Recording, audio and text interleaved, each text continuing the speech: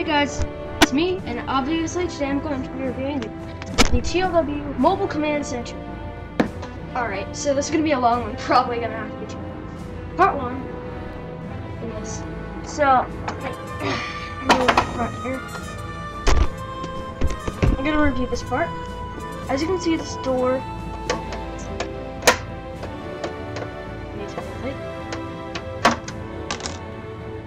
that happens.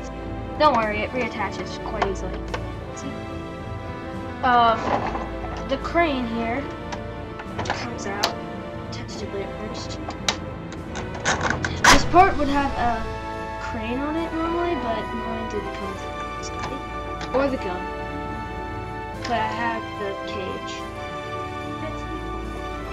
Like, also, JP Series 2. turn 360. So yeah, this goes really high. It can go all the way backwards. Um, yeah. So there's that. Um,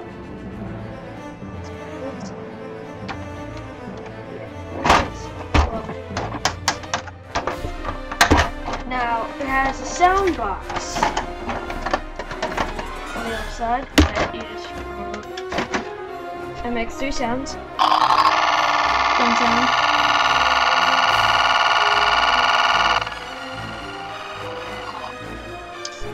And the lights stay. Yeah, man. Here's another one. Then try another quick. And then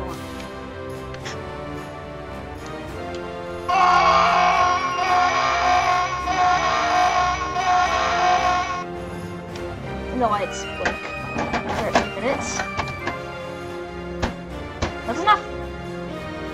They blink for a while. Dino damage is this comes off. And this normally would have a steering wheel, but mine didn't come with that, so I'm missing the steering wheel left. Uh, this part opens up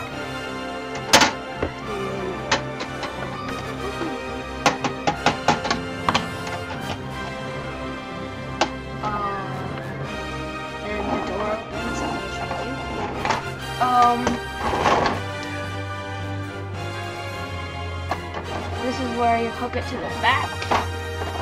See? The back. And it normally has a hook. that.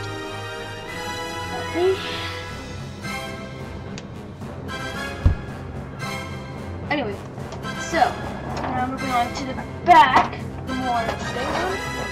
Um, as you can see, it has these two cable uh, the uh, back part normally just opens up smoothly, but sometimes you know it falls off.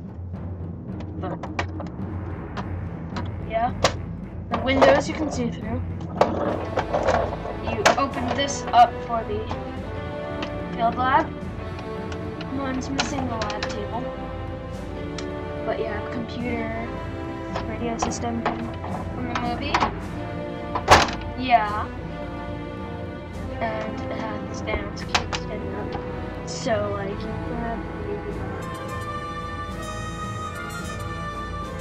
I think I have a baby Rex somewhere. Let me get that.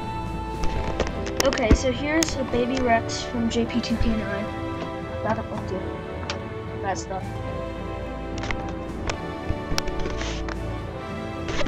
So yeah, and it folds back in easily. Just gotta fold it tight. Um,